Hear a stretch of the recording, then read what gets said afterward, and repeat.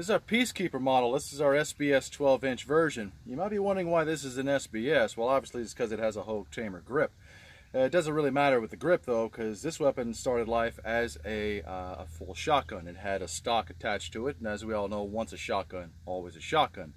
So even if the barrel length is 17.8.9, it doesn't matter. It's still a short barrel shotgun. So get your stamp. It's the easiest way. Then you can have the weapon of your dreams. So this weapon features a 12 inch barrel. We have a relocated recoil assembly. We have an upgraded uh, uh, uh, trigger latch here. So let's give it a shot. We got four plus one, shall we? Let's roll. Loaded, that's nice. That is a low recoil uh, game load GC 127 birdshot and it still cycles it. It runs like hell. So go to blackacestactical.com and get yours today.